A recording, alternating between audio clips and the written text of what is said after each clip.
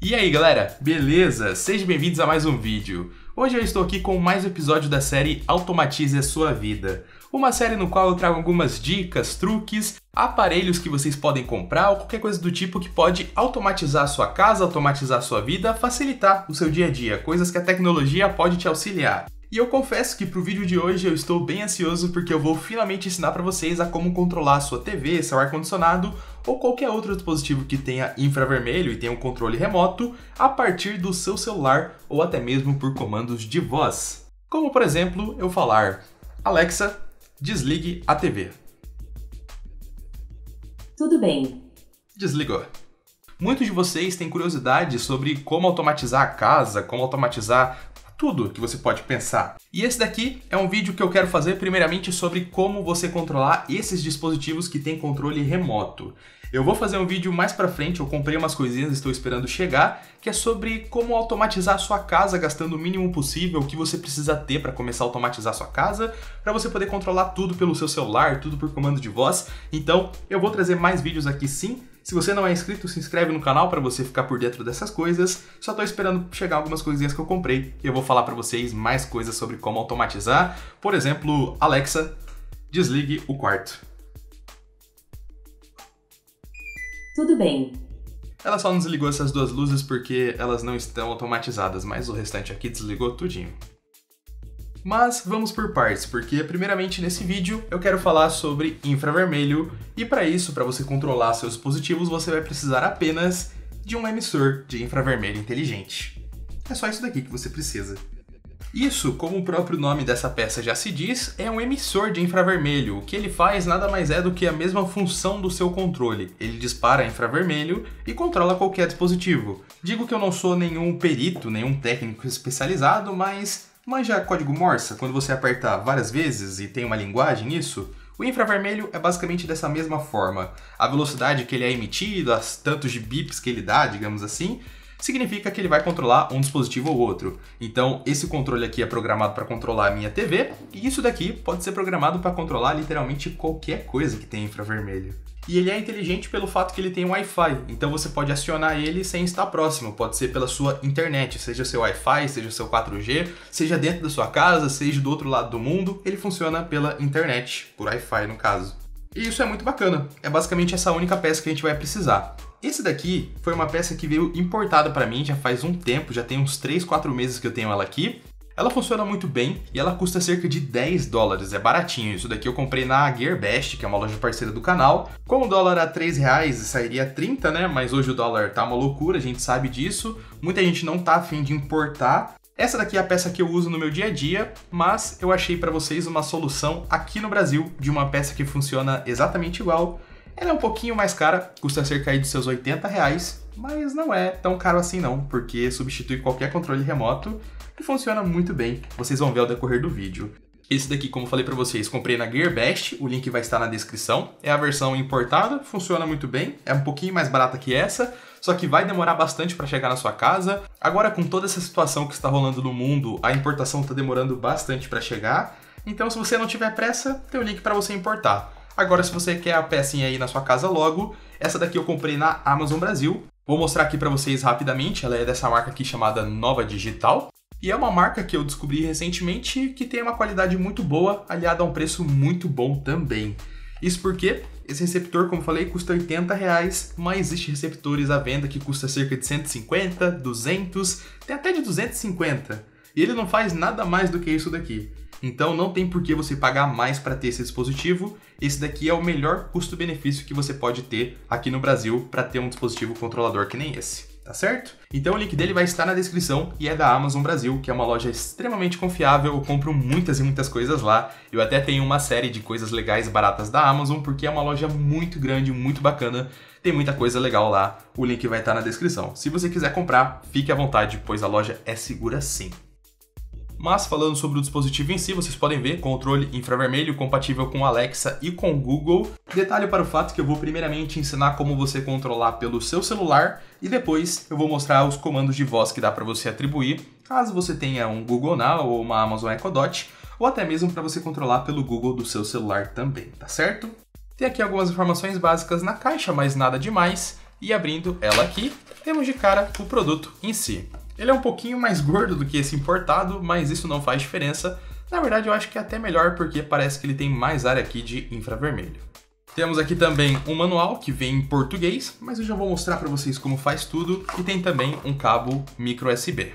Então, essa minha pecinha aqui, que é importada, já está configurada, ela já está funcionando perfeitamente aqui. Vou iniciar o processo de configuração nessa nova aqui, que é a que vocês provavelmente vão comprar, e já vou mostrar para vocês como é. É muito simples, dá para você fazer o básico, que é muito rápido e muito fácil de configurar, e dá para você ir para um nível mais avançado, que é o que eu gosto muito de fazer também. Então o primeiro passo é você conectar ela na energia. Ela precisa apenas de um USB normal de 5 volts, então pode ser na energia do seu computador, no própria saída USB da sua TV. O bacana dessa versão aqui é que você encaixa ele aqui e o cabo sai bem aqui no cantinho, ó, fica bem legal. E é só você ligar ele na energia. No caso aqui eu vou usar um power bank. Agora, no seu celular você vai vir na Google Play e vai pesquisar por esse aplicativo aqui chamado Smart Life é ele que vai controlar aqui o dispositivo. Você vai instalar ele normalmente, vai criar uma conta no aplicativo também, isso é muito simples. E aqui, no meu caso, já tem alguns dispositivos configurados, mas para você adicionar um novo, é só você clicar aqui no botão de mais.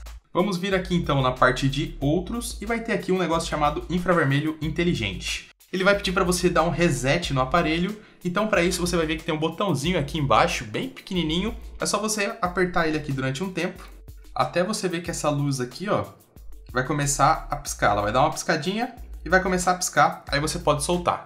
Tá piscando, clica aqui em confirmar e agora você tem que conectar ele numa rede Wi-Fi. Lembrando que se você tiver uma internet fibra, você vai ter aí uma rede de 5 GHz e uma de 2.4. Você tem que conectar na de 2.4. Se você não tem internet fibra, você tem um roteador comum, é só você conectar no Wi-Fi normalmente, mas para quem tem as duas opções é na 2.4 vai colocar aqui o Wi-Fi, vai colocar a senha e vai simplesmente dar um OK. Ele vai começar a procurar por dispositivo. Nessa parte você não tem que fazer absolutamente nada. E pronto, ele já achou aqui um dispositivo chamado Smart ER, que é de infravermelho em inglês. Se eu quiser, eu posso trocar o nome dele clicando aqui, vou colocar infravermelho para ficar melhor. Pronto, e vou dar um OK. Já era, ele vai aparecer aqui para mim como um dispositivo de infravermelho.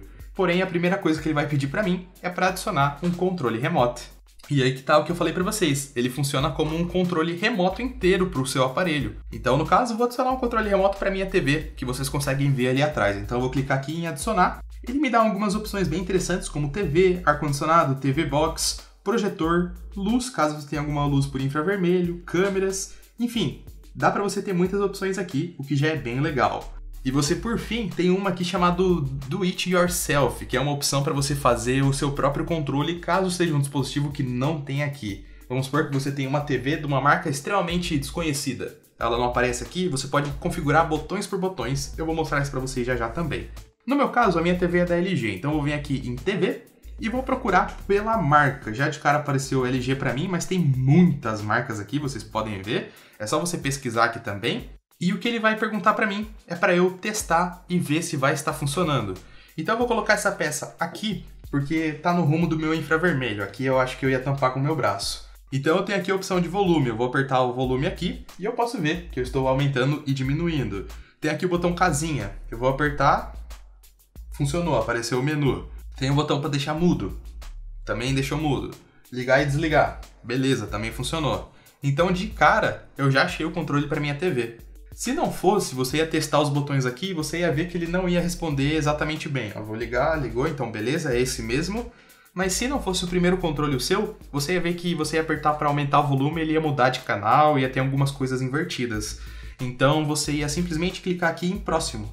Aí ele iria testar outra combinação, digamos que outro controle. Já é no padrão da LG, então já iria funcionar algumas teclas, mas não iria funcionar perfeitamente. Então a única coisa que você ia ter que fazer é ir testando qual desses ia funcionar, até que você vai encontrar um que funciona perfeitamente na sua TV. E aqui eu dei sorte que já funcionou de cara, mas senão é só você clicando em próximo e você pode ver que ele tem 33 opções disponíveis para caso a primeira não funcionar. Então é quase certeza que vai funcionar sim. No meu caso já deu, vou clicar aqui em combinado e pronto, agora eu tenho o dispositivo TV. Encontrei TV2 na Skill Smart Life. Para controlá-lo, diga ativar TV2. Alexa ali já encontrou ele, mas já, a gente chega nessa parte. Eu sei que não é todo mundo que tem Alexa, então fica mais para depois do vídeo. e meio que já era, já está funcionando. No meu caso aqui já funcionou perfeitamente com a minha TV, eu já tenho todos os controles dela aqui pelo meu celular. Mas pode acontecer de você ter uma TV com uma marca muito desconhecida ou ser um modelo muito antigo da TV. Se for uma marca que não apareceu aqui, apesar dele ter várias marcas, você pode vir no botão aqui de, do infravermelho, vir aqui para adicionar um novo controle e clicar no Do It Yourself, como eu falei para vocês. Aí você coloca mais ou menos qual é o modelo do dispositivo que você quer. Vamos supor que é uma TV Box, por exemplo, e aí eu vou pegar um modelo aqui não tem, né? Vou clicar em outras e aí o que ele vai pedir para mim fazer é para eu adicionar botões por botões. Eu tô aqui com o controle do meu ar condicionado para exemplificar, mas vamos supor o botão da tela inicial. Eu seguro ele apertado aqui, vou no meu controle que não existe aqui, né? Procuro qual é o botão da tela inicial, miro para a peça e aperto. Nisso que eu apertei, ele vai detectar o sinal que foi emitido e vai simplesmente salvar isso nesse botão. Olha que bacana. Então tem como você fazer isso para o controle inteiro que não apareceu aqui. Se não apareceu, é fácil de solucionar. Demora, mas é só você fazer por botão por botão. É uma vez só que você vai fazer e já era, já vai estar tá tudo funcionando. E um outro parênteses que pode ter também é que, por exemplo, você pode ver que o meu controle da TV aqui tem um botão chamado Amazon Prime Video. Se eu apertar aqui, eu já abro o Prime Video, já consigo acessar minhas séries e tudo mais. Eu não consigo ter esse botão por aqui. Por padrão, ele não mostrou. Se eu vier aqui, ó, nesse botão de mais, ele aparece os botões a mais que tem no controle, né? Porque você pode ver que tem muito mais botão do que aquela tela inicial. Então aparecem outras opções, tipo, por exemplo, aqui a opção para gravar, para parar, para dar play. Tem a opção para você trocar já entre o HDMI 1, 2 e 3, opção que nem tem aqui no controle, ele tem aqui, o que é bacana. E funciona, ó. Vou trocar aqui para o HDMI 2. Olha lá, já trocou. Bem instantâneo. Vou voltar aqui para o HDMI 3, que é o do meu computador. Já voltou também. E olha, a peça tá aqui, hein? Ela funciona bem. Então tem muitas coisas aqui, mas não tem exatamente o botão de Prime Video. Talvez seja uma coisa que tem só nesse controle, não sei. Existe um botão aqui que é esse Premium. Ele não faz nada ali na minha TV, tá vendo? Eu não aplico em nada. Então eu vou adicionar o botão de Prime Video nele. Para isso é só vir aqui no infravermelho e clicar aqui na minha TV e clicar aqui em cima em editar. Eu clico aqui em copiar botão, clico aqui em mais e vou até o, o botão que eu quero, no caso aqui o Premium, seguro apertado ele e simplesmente pego o meu controle e miro para cá e aperto o Prime Video. E aí é só você atribuir a tecla e pronto, você já vai ter um botão que não teria. Então é bem simples de configurar, não tem nenhuma dificuldade, você pode fazer isso para sua TV, para o seu ar-condicionado, qualquer dispositivo que você tenha. Ele funciona numa distância muito boa, você não precisa estar próximo do seu dispositivo, ele só precisa conseguir visualizar, né? O campo de infravermelho tem que estar livre, não pode ter nenhum obstáculo na frente mas aí ele vai controlar. Ele vai simplesmente substituir o seu controle remoto. E agora eu quero ir para a próxima etapa, que é sobre como controlar os dispositivos por voz, para você poder dar os comandos e ele executar tudo sem você sequer precisar abrir o aplicativo. Então, para isso, primeiramente eu vou fazer para quem não tem o Google Home Mini e nem a Amazon Echo Dot, que são dois dispositivos que eu já fiz vídeo aqui no canal. Pode dar uma olhada aqui no card caso você não saiba o que são eles. Mas esses dispositivos nada mais são do que assistentes pessoais, igual o seu celular é quando você chama ele pelo famoso OK Google. Falei bem separado para não acionar o celular de vocês aí. Então, primeiramente, eu vou ensinar a fazer isso pelo Google do seu celular, tá certo? Para você poder acionar o seu celular e comandar. Então, para isso, tenha instalado aí o aplicativo chamado Google Home. É esse aplicativo aqui. É o aplicativo próprio da Google ele serve para quem tem dispositivo tipo o Google Home Mini, que eu falei para vocês, mas também serve para o seu próprio celular.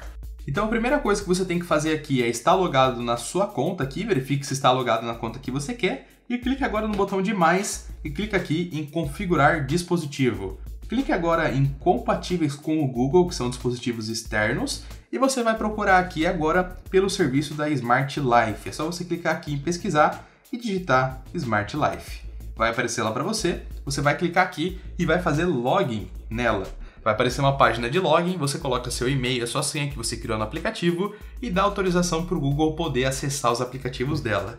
É só isso, você vai fazer login para que o Google consiga verificar os dispositivos que você tem. E a partir do momento que você der essa autorização para o Google, já vai aparecer aqui para você, nessa aba de dispositivos, a sua TV. No meu caso, está ela aqui chamado TV2, é porque eu já tinha uma TV e acabou criando outra. Então, por aqui, eu já consigo ligar e desligar a TV. Se eu der um clique, você pode ver que ela desligou. Olha que bacana. E aí é isso. Vai aparecer também o ar-condicionado, caso você tenha, e é só você simplesmente falar OK, Google, e ele então vai ligar e desligar, né? Você fala, ah, ligar TV, desligar TV, ligar ar-condicionado, desligar ar-condicionado. E ele vai fazer essas coisas para você. Então, isso aplica para o seu celular, você vai poder comandar por voz pelo seu aparelho e também pelo seu dispositivo Google Nest Mini, Google Home Mini, caso você tenha. E para Alexa, né, para quem tem uma Amazon Echo, seja qualquer tamanho aí, eu tenho aquela pequenininha aqui que é a Echo Dot, e o processo é quase que o mesmo, é só você vir aqui nessa tela do aplicativo, clicar aqui em Skills e Jogos e pesquisar pela skill da, do aplicativo Smart Life. Você vai pesquisar aqui, igual você fez no Google. Vai aparecer para você, você vai clicar em habilitar, ele vai pedir para você colocar a sua senha, seu e-mail, você faz o mesmo processo e depois você clica em dispositivos, clica aqui em adicionar novo, clica em adicionar dispositivos e clica aqui em outros clique aqui para descobrir dispositivos e a Amazon vai simplesmente dar, digamos que uma varredura no Smart Life e ver os dispositivos que você tem, seja tomada inteligente ou, no caso, infravermelho. Pronto, ele já encontrou aqui o dispositivo TV2. Agora é só clicar em configurar e pronto, ó, de simplesmente diga para Alexa desligar a TV e por aí vai. Então, Alexa, ligue o TV2. Falei meio errado, Tudo bem. mas acho que ela entendeu. Pronto, tá ligado. Só que vocês podem ver que ela simplesmente ligou e desligou a TV, e a mesma coisa vai se aplicar também para o ar-condicionado ou para qualquer outro dispositivo. Mas olha o tanto de botão que eu tenho no controle remoto da minha TV. Ela só ligou e desligou. Daria para ficar contente com isso, é o que a maioria das pessoas faz, mas dá para você ir um pouquinho além, porque pelo aplicativo aqui do controle remoto, dá para ver que tem mais opções, até mesmo no controle aqui. Então, poxa, eu configurei um botão chamado Prime Video e eu queria poder acionar esse botão apenas por voz. Se eu vier aqui, eu vou acionar, se for pelo aplicativo, mas e por voz? Não tem como. Ele só consegue ligar e desligar esses assistentes. Tanto a Alexa quanto o Google só vê isso daqui como um dispositivo de liga e desliga. Então, para adicionar mais coisas, você tem que usar uma função no aplicativo chamado Rotinas. No caso, vocês podem ver que aqui embaixo tem uma aba chamada Inteligente. Você clica nela e já aparecem algumas coisas aqui. No caso vai estar vazio, é que eu já fiz muitas opções. Inclusive uma chamada TV Prime Video. Vou mostrar o porquê. Se você vier aqui no botão de mais, você clica aqui em tocar para executar, clica em executar dispositivo, aí você vem na sua TV, procura pelo botão que você quer, no caso eu quero abrir o Prime Video e eu tinha configurado ele antes, então eu vou clicar em mais, e tá aqui o botão chamado Premium, que eu salvei para ser o Prime Video, então dou um clique nele e pronto. Quando eu mandar ele executar essa rotina, ele vai executar aqui o botão que eu configurei. E eu posso dar um nome para ele. Eu vou colocar aqui, ó, TV Prime Video. É só clicar agora em salvar. E aí você vai ter exatamente esse negócio aqui que eu tenho salvo, que é a função do Prime Video. Você pode ver que é exatamente a mesma coisa. A única diferença é que eu salvei para outra pecinha aqui que eu tenho. Eu vou voltar a usar ela porque eu já tenho umas coisas salvas aqui e vai ficar mais prático, mas funciona igual para as duas. Por que, que você vai criar essa tarefa, essa rotina? Qual que é a diferença? É o mesmo botão, qual que é a diferença de eu ir lá e apertar? A diferença é que essa rotina os assistentes conseguem identificar, os botões não. Mas se você criar uma rotina para apertar o botão, o assistente consegue identificar. Eu vejo que isso é algo meio desnecessário. Seria mais legal se o assistente já enxergasse os botões por padrão, mas não enxerga, então você tem que mostrar para ele o botão um por vez. No meu caso, o Prime Video. Se você vier aqui na Alexa, a interface dela é mais simples, mas se você vier aqui, você vai ver que tem um negócio chamado cenas. E aqui eu tenho várias. Essas cenas nada mais são do que aquelas que eu tenho aqui no aplicativo que vocês acabaram de ver. Tudo isso daqui são as cenas, que no caso eu chamo de rotina, mas tanto faz, cada aplicativo dá um nome, e elas aparecem aqui na Alexa. E são exatamente os mesmos nomes, você pode ver ar ventilador, TV HDMI 3, TV Prime Video, que foi aquele que eu mostrei. Então, todos esses que estão aqui aparecem aqui também. E aí, quando eu executo, por exemplo, TV Prime Video, ele vai apertar aquele botão lá. Entendeu o nível de gambiarra tecnológica que eu estou fazendo aqui? E ah, então é só eu apertar aqui? Não, você tem que configurar uma frase para esse assistente entender. Então a gente vai vir aqui agora na parte de rotinas aqui do aplicativo da Alexa e vamos clicar para adicionar uma nova rotina. Então, quando isso acontecer, eu falar aqui para Alexa a seguinte frase: eu vou colocar aqui a frase botão Prime. Quando eu falar isso para ela, ela vai acionar aqui na aba de casa inteligente a parte aqui de controlar cena e vai ser TV Prime Video. Então, pronto. Quando eu falar para ela, Alexa, botão Prime, ela vai abrir para mim o botão Prime Video do meu controle. Vamos ver se vai funcionar. Tô com o dispositivo aqui, só esperar um pouquinho até salvar. E agora eu vou falar, Alexa, botão Prime. Tudo bem. Vou lá, estou aqui no Prime Video. É que já estava com ele aberto, então não deu aquela tela ali do Amazon Prime Video. Mas eu vou até fazer aqui de novo, Alexa, botão Prime. Tudo bem. Olha só, até já apareceu o logo dela aqui. É que não deu para vocês verem inteiro, mas funcionou perfeitamente bem. Então é uma gambiarrazinha que você faz, mas funciona. Aí eu posso colocar o nome que eu quiser, tipo, ah, quero ver série. Aí ela vai identificar e vai executar para mim esse botão. Depende tudo do que eu configurar, mas olha só como dá para fazer um pouco do além do normal. O mesmo também se aplica para o Google. A diferença é que para ele você aciona mais manualmente e o mesmo vale também para você acionar pelo seu celular. É o mesmo processo. Você vem aqui no aplicativo do Google Home, clica na sua foto de perfil e clica na opção de configurações do Assistant. Clique aqui em Assistente. Você vai clicar aqui na aba de automação residencial e você já vai conseguir ver aqui, ó, em algum local na parte do Smart Life, a rotina que você fez. No caso, está aqui TV Prime Video. Maravilha!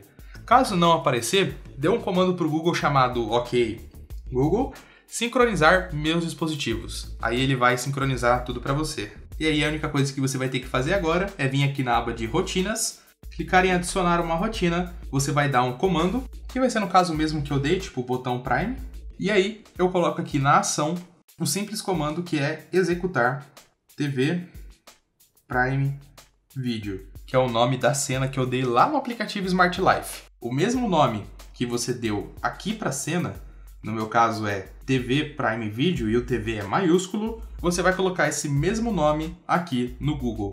Para o Google esses detalhes fazem diferença. Aí você vai aplicar e pronto, vai funcionar igual vocês viram para Alexa, um comando vai executar a ação.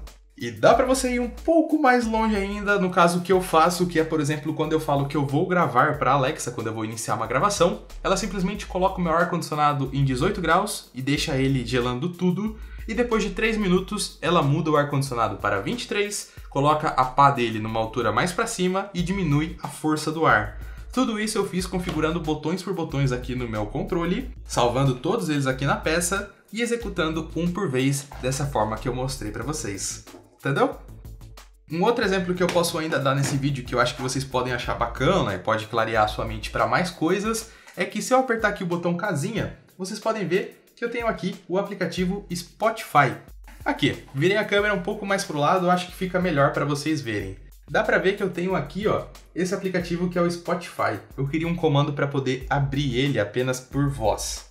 Eu não tenho no controle nenhum botão chamado Spotify, então não dá para fazer isso manualmente. Mas uma coisa que eu sei é que se eu apertar o botão casinha, apertar para o lado uma, duas, três, quatro vezes e der OK, eu vou abrir o Spotify, mesmo que eu não esteja olhando para a TV.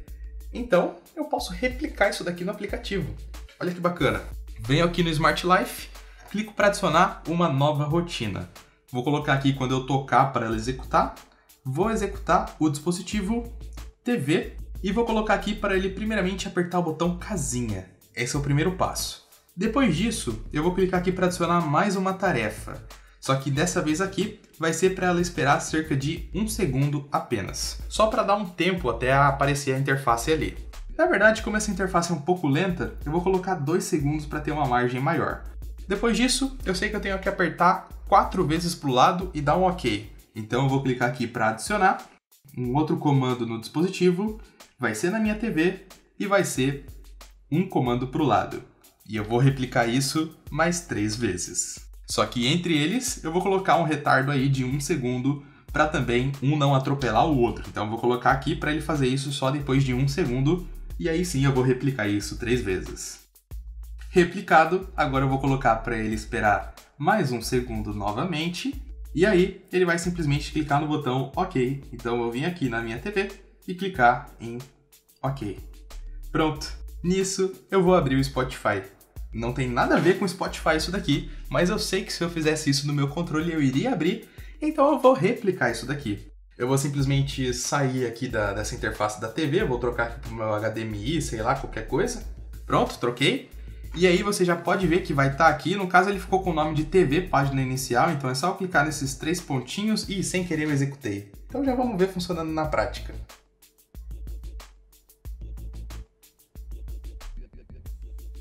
Abrimos o Spotify. E isso foi só um exemplo, eu posso fazer isso para trocar de HDMI. No meu caso aqui do meu controle já tem um botão HDMI 1, 2 e 3, mas caso não tenha, caso apareça aquela interface enorme, você pode colocar, quando você pedir para trocar para o HDMI 3, ele primeiro abre aquela tela, desce 1, desce 2 e vai estar tá no HDMI 3. Entendeu? E você pode atribuir isso tanto na Alexa quanto no Google e você vai ter exatamente esse mesmo resultado aqui que eu mostrei para vocês. Isso é bem legal. E eu falo por voz porque você pode fazer isso pelo seu próprio celular também, não precisa ter esses dispositivos extras que eu comprei. Então é bem bacana. É muito simples, foi um vídeo até que bem extenso, eu sei, mas é porque eu tenho que mostrar detalhado para vocês entenderem bem o que, que é. E eu nunca vi ninguém falando sobre esse tipo de coisa que dá para você fazer, mas dá e você tem um controle muito mais completo dos seus dispositivos a partir disso. Então, é isso, cara. O link para eles vai estar na descrição. Sinceramente, eu recomendo mais você comprar no Brasil do que importar atualmente, porque além do dólar tá caro, tá demorando para chegar, então no Brasil você já tem uma peça que funciona tão bem quanto e tá um pouquinho mais cara, mas é um preço que vale a pena você pagar ainda, porque tá mais barato que outras opções. Tem um da Positivo que custa cerca de 130 reais e ele não tem nada mais que isso daqui. Na verdade, ele não é pelo esse aplicativo que eu mostrei para vocês, então pode ser que ele nem tenha a opção de rotinas que eu mostrei. Aí acaba que não dá para você ter botões a mais, controlar pelos outros dispositivos. Então você tem que ficar bem atento quanto a essas coisas. Esse eu sei que é um que eu testei, recomendo. Eu até comprei ele aqui no Brasil porque eu queria ter certeza que ele funcionava por esse aplicativo Smart Life, porque ele é bem completo. Então tinha que funcionar, por isso que eu esperei chegar ele aqui para poder fazer o vídeo para vocês. E sim, funciona muito bem. O link para ele vai estar na descrição, caso você queira comprá-lo, tá certo? Mas foi esse o vídeo, espero que vocês tenham gostado. Lembrando que vai ter mais vídeos sobre casa inteligente, os próximos não vai ser tão complexo quanto esse. Esse eu quis fazer um vídeo à parte porque tem muita coisinha que dava para mostrar, e se eu colocasse num vídeo só tudo de uma vez, não seria tão bacana, então espero que vocês tenham gostado. Se você tiver gostado, peço muito que você deixe o seu like e se não for inscrito no canal, se inscreva para acompanhar os próximos vídeos. Se for possível, compartilhe o vídeo com mais alguém e lembre-se também de ativar o sininho do canal para receber as notificações dos próximos vídeos. É isso, galera. Nos vemos no próximo vídeo então. Um abraço e valeu!